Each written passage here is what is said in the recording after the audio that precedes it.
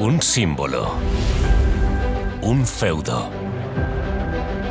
Nuestro hogar. Desde hace casi un siglo, el Villarreal Club de Fútbol ha disputado sus partidos en este emblemático estadio, que ha ido evolucionando con la expansión del club. A finales de los 90, con la llegada del presidente Fernando Roch y el inmediato ascenso a Primera División, el por entonces estadio del Madrigal vivió una enorme transformación. En 2005 tuvo lugar un nuevo salto de calidad para acoger el mejor fútbol internacional.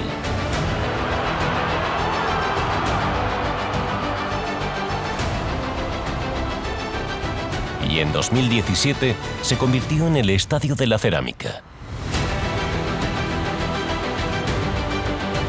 Un escaparate de vanguardia con una reforma integral del estadio y el entorno. Ahora, el Villarreal Club de Fútbol culmina la transformación de su estadio, logrando una unidad arquitectónica total y completando la integración con la ciudad. Con el cerramiento completo del graderío con la nueva esquina entre Preferencia y Fondo Sur. Cubrimiento de todo el aforo. Un arco gigante que ofrecerá una impresionante imagen. Nuevos asientos y mayor confort. Una experiencia espectacular de videomarcadores, sonido e iluminación. Uso de paneles fotovoltaicos. Nuevos espacios interiores. Con la remodelación del entre líneas, un nuevo espacio para el museo y una sala polivalente en el graderío sur con vistas al estadio y a la plaza, consolidando la evolución del entorno.